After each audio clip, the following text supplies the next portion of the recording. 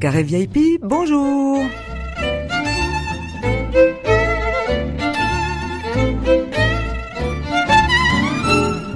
Carré VIP ou VIP, vous prononcez comme vous voulez. C'est une émission dédiée aux femmes, les déménagères de plus de 50 ans.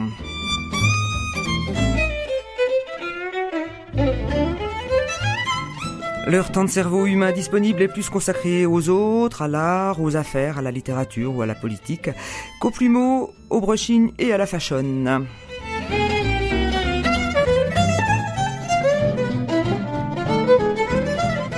Importante pour les leurs, dans leur quartier, dans la ville ou au-delà, elles viennent bavarder avec nous au carré VIP.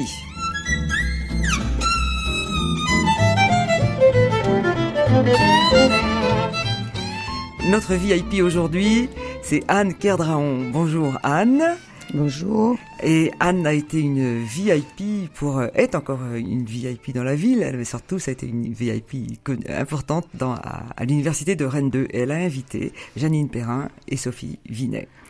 Alors Anne, euh, racontez-nous un petit peu euh, votre parcours. Je, je, sais que vous êtes née dans les Côtes d'Armor, à Saint-Brieuc, et bon, ça, ça elle lève les yeux au ciel tout de suite. Non, ça c'était au siècle dernier, d'accord. Bon, vous êtes arrivée à Rennes, vous vous êtes retrouvée enseignante à Rennes 2. Non, je vais trop vite. Oui. Ok, alors je vous écoute. Alors on fait un. Je me suis retrouvée à Rennes après mon bac. Euh, pour des raisons euh, très étonnantes, mon père étant artiste m'a interdit d'aller aux Beaux-Arts. Ah oui, et quand j'ai eu l'âge d'être pionne, j'ai été pionne et donc j'ai pu m'inscrire aux Beaux-Arts. Parce qu'à l'époque, on formait au professorat de dessin, c'était bien avant l'invention des CAPES avec des, une formation extraordinairement académique, anatomie, perspective, mmh, j'en passe, mmh. les, les nanas nues, excusez-moi, euh, cher ami, euh, prie, qui faites, posaient faites. pendant huit heures euh, en ayant des tremblements quand elles avaient des crampes. Ah, et la suite, et après quoi, j'ai été euh, gentiment euh, et conduite de l'école des beaux-arts en 68 pour activité un petit peu mmh. euh, ce qui m'a permis de rentrer euh, à la formation d'histoire de l'art qui venait d'ouvrir à Villejean pendant une année, juste le temps d'avoir les certificats en antique, et je suis partie à Paris euh, avec euh, un mari et une fille. J'ai eu le CAPES, donc euh, ancienne formule. J'ai été nommée dans une banlieue chaude d'Argenteuil. Madame, je te casse la gueule à la chaîne de vélo. Ah, déjà, déjà comme ça à ah ouais. Ah ouais. Et il y a eu un poste miraculeusement ouvert à Rennes pour former la nouvelle, le nouveau système de préparation aux, aux enseignements d'art plastique. Et on était quatre. Donc, ce qu'on a appelé la bande des quatre, il y avait les quatre, les trois barbus et moi. Et euh, la on a inventé une pédagogie à l'envers de tout ce qui avait été fait avant.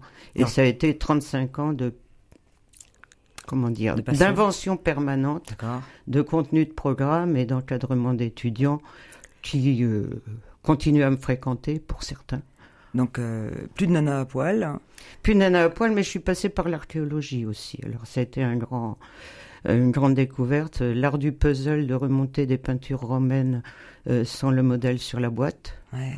Ce qui fait que j'ai gardé un goût pour l'antique. Et là, je reviens de Rome, où je suis allé voir euh, les vieilles pierres, et j'ai même trouvé, miracle, la mosaïque sur laquelle j'avais travaillé pour ma maîtrise en pou, pou, pou, pou, je ne dirais pas on la pas date. hein on dit pas bon. l'année, on s'en fiche. Et que mmh. j'ai vu en vrai. Alors vrai. que j'ai écrit 200 pages dessus. Ah, c'était émouvant. C'était sans, émouvant. sans avoir jamais vu plus que la photo. D'accord. Alors, euh, vous, même, même, si vous avez rejeté l'enseignement classique, vous-même, vous êtes une dessinatrice de grand talent. Et vous faites des carnets de voyage, comme vous êtes, c'est aussi votre, votre autre passion à laquelle vous vous êtes donné encore davantage depuis que vous êtes, que vous n'êtes plus, que vous n'enseignez plus. Le, dessin, c'est vraiment quelque chose qui, qui vous, qui vous passionne et vous, vous exposez de temps en temps? Oh non, c'est de, depuis 2000, je n'ai rien montré, ou 2005. Euh, nous nous sommes rencontrés, souvenons-nous, euh, cher ami, euh, dans un train entre euh, Saïgon et Hué. Exact, c'est vrai, c'est vrai. Et à l'époque, je faisais des carnets qui ouais. ont été montrés, mais surtout dans mes blogs maintenant, euh, parce que depuis les épopées au Mali, euh, pour lesquelles j'ai fait énormément de dessins et qui ont été exposés à Rennes, mm -hmm. y compris à l'hôtel de ville, Euh, je voyage beaucoup, mais plutôt avec un appareil photo parce que Ah ça oui. va trop vite. D'accord. Je me rappelle justement ce- cette, proximité que vous arriviez à créer avec les les, les, les, autochtones, euh, avec le, le carnet de croquis à la main, le- les, les crayons, et puis euh, esquissant vite leur portrait, le- leur offrant? Alors là, vous vous faisiez des potes partout en fait. Ah bah, j'ai eu des tas d'amis. Je suis revenue avec des carnets à souche parce qu'il a fallu distribuer les dessins et donc je n'avais plus rien au retour. Alors après, j'ai fait des doubles. Ouais. Enfin, je faisais deux dessins du même et je m'en gardais un quand même au, au cas où. Mm. D'accord. Mais c'est euh, un mode de convivialité extraordinaire. Ah, tout à fait. Ouais, c'est pour ça que je suis surprise de vous entendre dire que maintenant vous faites plutôt de la photo. Bah, surtout que je ne voyage plus vraiment euh, toute seule, toute seule, parce qu'il faut du temps. Hum, hum. Il faut être autonome. Et cela vous permet de, de, de créer un, un- votre, enfin, d'alimenter votre blog hein, je continue à alimenter mes blogs après chaque voyage. qui s'appelle Euh, les carnets de voyage de l'acariâtre. la Avec un Cariate. K à Alors, on précise que Anne Gerdran, vous aurez remarqué, ses initiales, c'est AK. Donc voilà, vous voyez un petit peu le, le, le- le caractère et l'humour de ma VIP d'aujourd'hui. Anne, euh, c'est le, est venu le moment de faire. Une déclaration.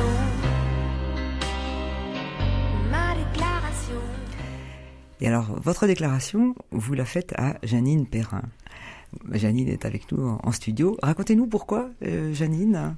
Pourquoi Janine? Parce que euh, Janine était, euh, comment dire, l'âme et, et l'organisatrice pédagogique, alors que ça n'était pas sa fonction, quand les ateliers d'art plastique étaient rue Saint-Yves, où elle vivait avec ses chiens, ses chats, son petit-fils, euh, les oiseaux du coin. Et Janine avait cette particularité d'arrêter les cours en disant euh, Le café est prêt. Alors. euh, les jours de concours qui se passaient là, surveillés attentivement par des gens du rectorat, elle arrivait avec les plateaux, avec autant de café qu'il y avait de victimes. Alors, euh, Janine, racontez-nous un petit peu vos, souvenirs, comment vous avez vécu cette période. Parce que, bon, on peut le dire votre âge, vous avez 80 ans. Oui, Vous êtes d'une très élégante, euh, vraiment, euh, on, on vous donne absolument pas votre âge. Et, et donc, c'est toute cette, vous pouvez nous dire deux mots sur, sur cette période de, de votre vie, comment, enfin, on voit que tout l'amour que vous avez eu pour tous les gens que vous croisiez. mais oui, j'ai travaillé ben, 27 ans avec les arts plastiques. Enfin, pas tout à fait, parce que c'était la maison des étudiants. Ça s'appelait la maison des étudiants rue Saint-Yves. Et on travaillait avec les étudiants. Mhm, Donc, il y avait le président, il y avait, enfin, tout le bureau mhm. était rue Saint-Yves. Et il y avait aussi le Crous, euh, les sports, euh, il y avait la mutuelle, il y avait les tickets de restaurant.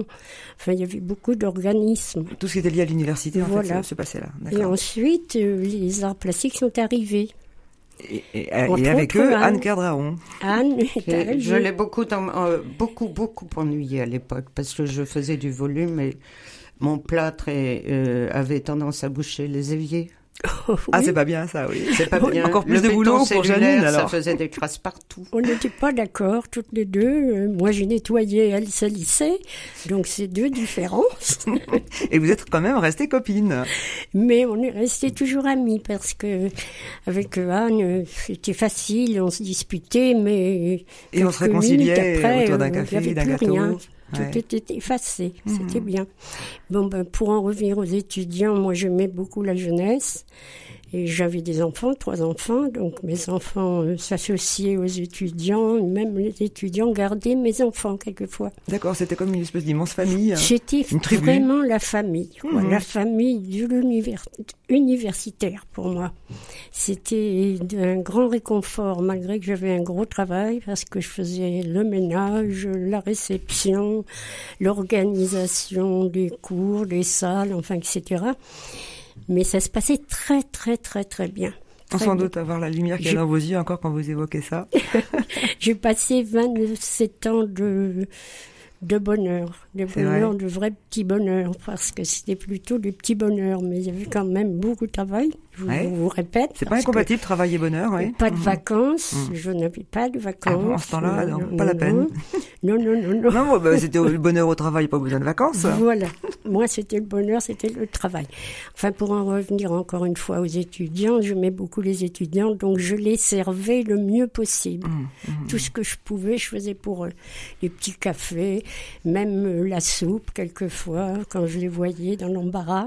Janine, euh, je sais, alors vous, vous venez de dire que vous avez eu trois enfants et je crois savoir que vous en avez eu un, un, un quatrième en quelque sorte. C'est un moulin que vous avez euh, Oui. restauré, un moulin Oui, avant, c'est oui, ça? Voilà. En famille. Nous hein. avons restauré un moulin à vent pendant 25 ans de restauration parce qu'il était dans un piteux état. Et avec mon fils qui était menuisier charpentier, ça nous a permis de faire des gros travaux. Alors on a restauré ce moulin. Et quand il a été restauré, on s'y est attaché, pas comme à une maison, comme à un être humain. Hum, C'était notre ami le moulin. Et quand on arrivait, on le voyait se dresser parce que j'avais fait pousser du lierre, euh, du lierre euh, japonais. ouais. Euh, que C'était vert l'été et rouge, très rouge comme ça, D'accord. l'hiver. Ouais, ouais. C'était très très beau. Alors quand on le voyait, on disait Ah, tu es là. Ah, tu nous attends. Hum, Il montait la garde en vous Ah, attendant. vous montez la garde. Ouais. Et il y a même eu un poème de un poète qui m'avait fait un poème. Ah, sur, Sur le moulin. D'accord. Oui, ben, il avait mis de belles choses parce que c'est un moulin qui n'avait jamais pu tourner. Il n'avait jamais Ah bon fait de farine. Il avait juste été construit, puis après, il était devenu euh, obsolète avant. Euh, la- Oui, parce qu'il y en avait, il y avait deux moulins côte à côte. Le moulin que j'avais moi acheté enlevait le vent de l'autre moulin. Ah oui. Il y a eu procédure, etc. Si bien que celui, ce moulin est tombé en ruine parce qu'il ne travaillait pas. Il n'y avait pas travaillé. Non. Alors, on va faire un petit tour en musique, là, maintenant. On a parlé de poésie. Il y en a un que, Anne a choisi, qu'on aime beaucoup ici, c'est euh, Pierre-Marc Orlan, euh, chanté par Monique Morelli.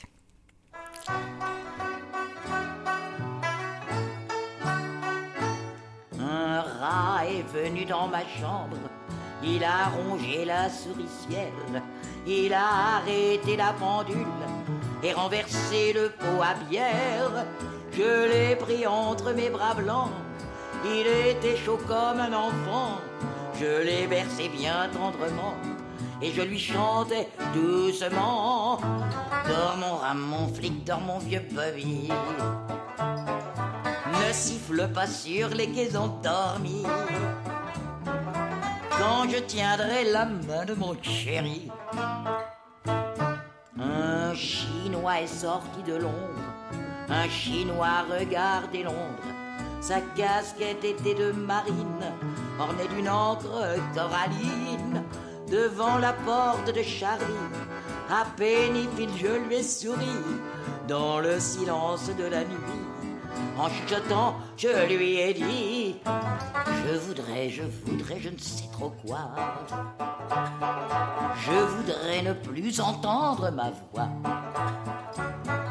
J'ai peur, j'ai peur de toi, j'ai peur de moi.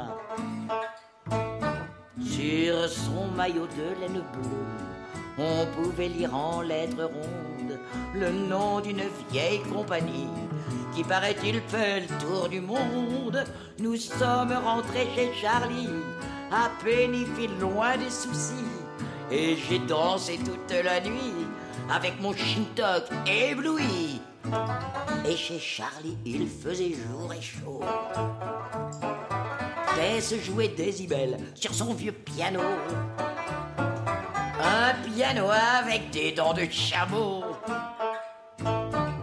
J'ai conduit le chinois dans ma chambre. Il a mis le rat à la porte. Il a arrêté la pendule et renversé le pot à bière.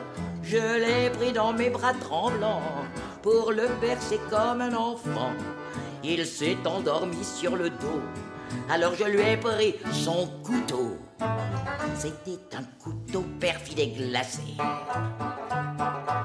Un sale couteau rouge de vérité. Un sale couteau rouge sans spécialité. La fille de Londres, donc euh, choisie par Anne Cardraon. Pourquoi Anne? Parce que euh, je suis absolument incompétente sur la chanson contemporaine. Euh, que ça me renvoie à l'idée des voyages. J'ai l'impression d'être entre Londres et Shanghai. Ouais, tout et à fait. euh, tout Mm. le cinéma noir et les thrillers euh, américains euh, sont l'essentiel de ma cinématographie Ouais. actuellement. Il y a de la joie. Bonjour, bonjour les hirondelles, il y a de la joie. Et il y a de la joie euh, toujours autour de notre invité du carré VIP, Anne Cardraon, euh, qui a invité, alors ce sera au téléphone, une de ses anciennes élèves, euh, Sophie Vinet. Et Sophie est en ligne avec nous. Oui. Bonjour Sophie. Bonjour. Alors racontez-nous un petit peu euh, bon, euh, votre, votre parcours, votre rencontre avec Anne aussi. Oui, bah, tout à l'heure, j'ai entendu euh, ce qu'elle racontait sur la, les débuts de la fac d'art plastique ça Ouais. m'a- et, et Madame Perrin. Ouais, Et ça m'a touchée forcément puisque j'ai fait partie euh, de ces jeunes étudiants ouais, il y a 30 ans. déjà. Vous les faites Donc, pas. euh, et puis Anne, Anne était la personne qui m'a suivie dans ma maîtrise et DEA à l'époque. Mhm. Donc c'est comme ça qu'on a eu des liens un peu plus serrés et puis de temps en temps on, on se, on se voit encore et, et c'est très bien. Et alors vous, après vos études, vous avez un, vous avez un, un parcours un peu original, parce que je crois que maintenant vous êtes installée comme coiffeuse, c'est ça? Oui, depuis cinq ans. Ouais. Voilà, en fait, euh, je suis installée comme coiffeuse. J'ai toujours un peu de peine à, à dire ça comme ça. En fait, je suis toujours euh, plasticienne, Ouais. mais j'ai fait une formation de coiffure pour servir euh, le, le projet que je fais actuellement. Voilà. Donc j'invite les, les gens, la population, tout se fait par bouche à oreille. Ouais. Donc faut savoir que j'habite en plein champ. Du côté de Nozay, je crois. Voilà, à Nozay, euh, à trois quarts d'heure de Rennes. Et euh, j'invite les gens à venir dans mon atelier, soit pour une coupe, une coloration végétale ou un soin. Ah, très bien. Je n'utilise que des produits bio, c'est très important pour moi. D'accord. Et je garde trace de chaque transformation Ah oui. Pour, euh, bah, pour faire des inventaires. Et ces inventaires euh, sont, euh, enfin, comment dire, habillent peu à peu mon atelier. Et, et voilà. D'accord. Donc vous, vous mêlez complètement étroitement dans votre vie professionnelle, votre vie artistique, euh, dans votre ferme, au milieu des champs, de, auprès d'une mine à, à Nozay, c'est ça? Oui, auprès de la mine d'Abaret. Et Anne Cardaron euh, est allée là-bas, je suppose. C'est Anne euh, qui. C'est c'est Oui, oui. Sophie qui vous a coiffé, Anne? Ah non, non, euh, non, parce que c'est un peu loin. Et ça serait avec plaisir, mais bon. Non, euh, elle a commencé par faire des installations sur la mine avec des textiles pour euh, emballer complètement la mine à une période où le land art était... Façon euh, Christo oui, après Christo et après notre ami Bruni, que je salue ici au passage. Et euh, on s'est, enfin, elle a cessé de faire ce genre de travail, mais elle l'a fait au profit du militantisme. Et donc, nous avons tous participé il y a deux ans à la fabrication d'une boule rouge géante faite de tissu qui rentrait dans son programme de défense de Notre-Dame-des-Landes parce que Sophie n'est pas seulement plasticienne, elle est investie dans la politique locale. D'accord. Alors effectivement, à No- à Nozay, vous n'êtes pas loin de Notre-Dame-des-Landes, euh, Sophie? Oui, oui, oui, on est à une demi-heure. Et donc vous vous investissez dans... Bah, disons que euh, le, le problème de l'aéroport, euh, on va dire, dépasse, la lutte aujourd'hui dépasse le problème de l'aéroport. C'est vraiment une lutte pour euh, quel, quel milieu rural on veut vivre, quelle agriculture on veut garder ou inventer. Mhm. Enfin, ça, va, ça va très loin. hein. Et mon mari est paysan, très engagé également pour une, une éthique dans ce milieu rural. Et, euh, et donc, euh, bah oui, pour nous, c'est important de, de soutenir le mouvement et, et, et d'avancer ensemble. Et cette année, bon, bah, c'est très très fort les luttes, bien sûr. Et euh, ce qu'on peut, la- la- par exemple, la manif, à- une des manifs à Rennes, euh, je sais plus parce qu'il y en a eu tellement, oui, là, euh, avec beaucoup de tracteurs, euh, que ce soit celle-ci ou d'autres à Nantes, c'est, c'est, mais c'est touchant, touchant parce que au-delà de cette idée d'aéroport, on a l'impression, moi en tant que fille, petite fille de paysan et épouse de paysan, on a vraiment l'impression que c'est comme si tout d'un coup la population reconnaissait la place du, du vrai paysan, hein, pas, pas celui qui casse tout partout, mais Ouais. voilà. Et donc, euh, bah, pour moi, c'est pas étranger du tout à ma euh, à mon engagement artistique, puisque je travaille tout le temps avec la population et qu'il y a souvent une petite connotation écologique dans mon travail. D'accord. Anne, euh, Sophie, pardon, avant de, de vous quitter, est-ce que, vous avez un site ou est-ce qu'on, peut prendre rendez-vous Comment faire pour prendre rendez-vous vous- et vous voir à, à Nozay Alors, euh, soit par téléphone, euh, donc c'est le 02 40 87 02 81. J'ai un site, sophievinet.fr. J'ai actuellement, c'est tout nouveau pour moi, une page Facebook. Ah, très bien. Donc je, je rappelle aux, aux auditeurs que Sophie- votre nom s'écrit V-I-N-E-T. Voilà, et Sophie avec un F. Sophie avec un F, effectivement, dans la S-O-F-I-E-V-I-N-E-T. D'accord? Voilà. Sophie, on va vous laisser. Merci beaucoup et puis bonne, euh, bonne chance dans, dans, tous vos, dans, dans toutes vos actions. Et à Merci plus. beaucoup à vous. Ah, Anne, vous À rajouter bientôt, quelque chose? Anne. À plus. Bisous. Oui, à très bientôt. Salut. Mon oncle, infâme bricoleur, faisait en amateur des bombes atomiques. Sans avoir jamais rien appris, c'était un vrai génie, question travaux pratiques. Il s'enfermait toute la journée au fond de son atelier pour faire ses expériences. Et le soir, il rentrait chez nous et nous mettait en transe en nous racontant tout. Pour fabriquer une bombe à mes enfants, croyez-moi, c'est vraiment de la tarte. La question du détonateur se résout en un quart d'heure, c'est de celle qu'on écarte. En ce qui concerne la bombache, c'est pas beaucoup plus vache, mais une chose me tourmente. C'est que celle de ma fabrication n'ont qu'un rayon d'action de 3 mètres 50. Il y a quelque chose qui cloche là-dedans. J'y retourne immédiatement.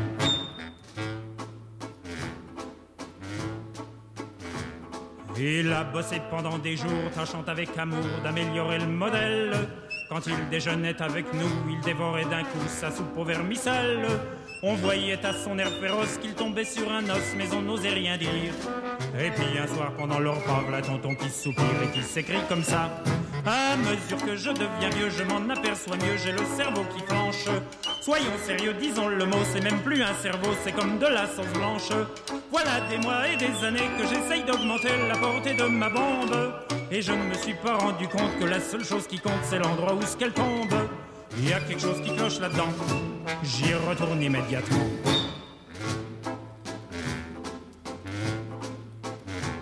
Sachant proche le résultat, tous les grands chefs d'État lui ont rendu visite. Il les reçut et s'excusa de ce que sa cagna était aussi petite. Mais sitôt qu'ils sont tous entrés, il les a enfermés en disant Soyez sages. Et quand la bombe a explosé, de tous ces personnages, il n'est plus rien resté. Content devant ce résultat ne se dégonfla pas et joua les andouilles. Au tribunal, on l'a traîné et devant les jurés, le voilà qui bafouille. Messieurs, c'est un hasard affreux, mais je jure devant Dieu, comme mon âme et conscience, en détruisant tous ces tordus, je suis bien convaincu d'avoir servi la France. On était dans l'embarras, alors on le condamna et puis on l'amnistia. Et le pays reconnaissant l'élut immédiatement chef du gouvernement.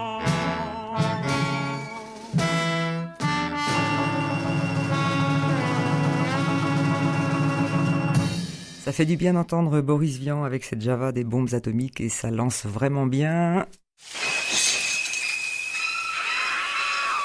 Le coup de cœur d'Anne Kerdaon. Anne, dites-nous ce qui vous révulse, ce qui vous révolte dans, le, dans notre société.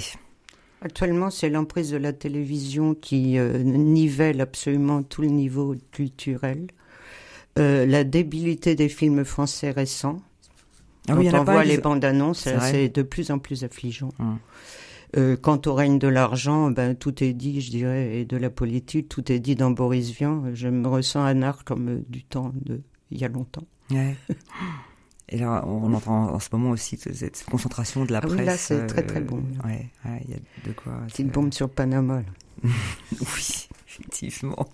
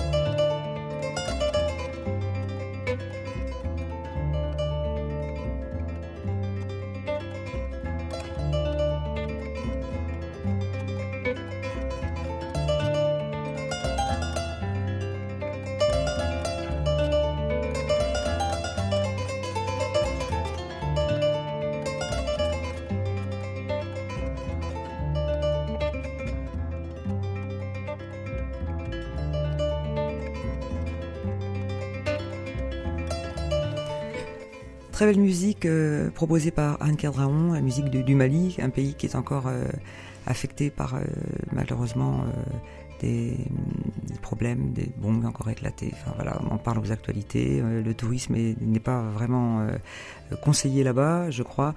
C'est un pays que vous connaissez bien. Anne, vous y avez beaucoup voyagé. Moi, j'y suis allée cinq ou six fois.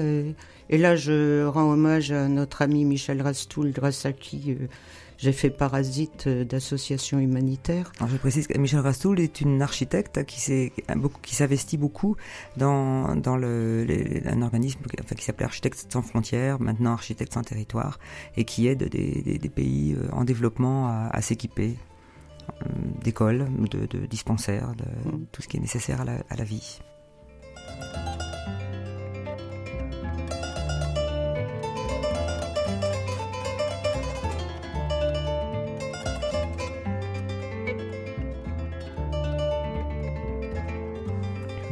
Ça paraissait- Donc là, euh, le Mali, c'était une véritable découverte. Et en fait, si j'ai choisi cette musique, c'est, je dirais, euh, totalement l'ambiance de la marche qu'on peut faire dans les pays du Sahel, euh, du côté de la falaise de Bandiagara en particulier, où j'ai gardé des relations et des amis et que j'ai beaucoup dessiné là pour le coup. Ouais, ouais. Et il y a cette espèce de dynamisme lent dans cette musique qu'on a quand on marche pendant des heures en regardant euh, un ciel dégagé, des montagnes rouges, euh, quelques petites oasis, enfin un pays magique. Et ne Totalement plus magique. y aller, c'est vraiment une, un Un déchirement pour vous, d'accord.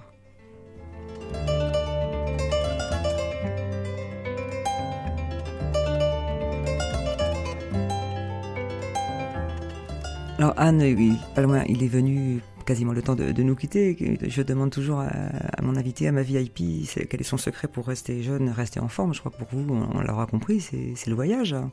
Ben, c'est le voyage, je dirais, partout et nulle part.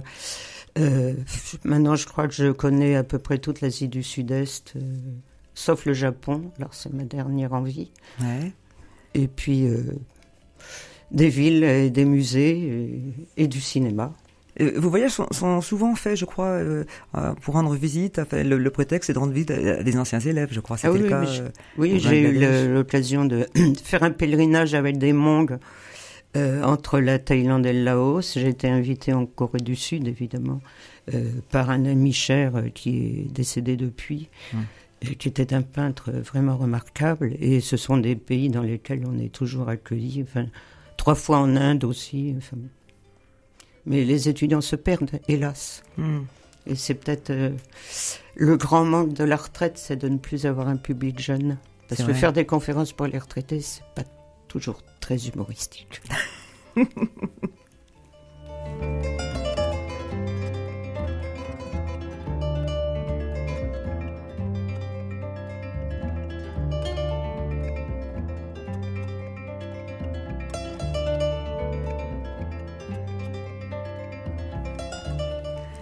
Merci beaucoup pour ce joli carré VIP avec mes VIP d'aujourd'hui, Janine Perrin et Anne Cadraon.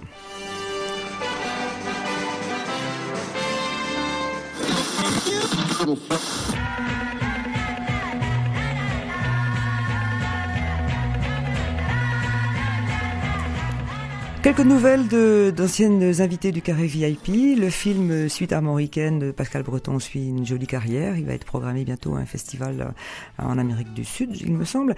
Euh, la forêt sacrée dont nous avions parlé aussi, le film qui évoque la question de l'excision en Côte d'Ivoire avec Camille Sarret, poursuit aussi une belle carrière, primé dans pas mal de festivals dans le monde.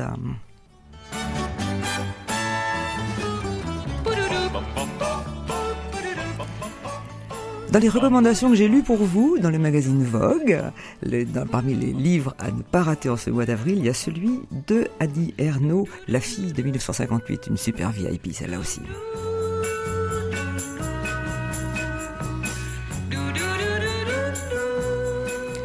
Un grand merci à Xavier Jean qui nous a accompagnés à la technique. Et donc, je voulais donner rendez-vous dans 15 jours avec Catherine Méet-Soulard, qui est naturopathe, ou plutôt aromathérapeute. On verra ça avec elle.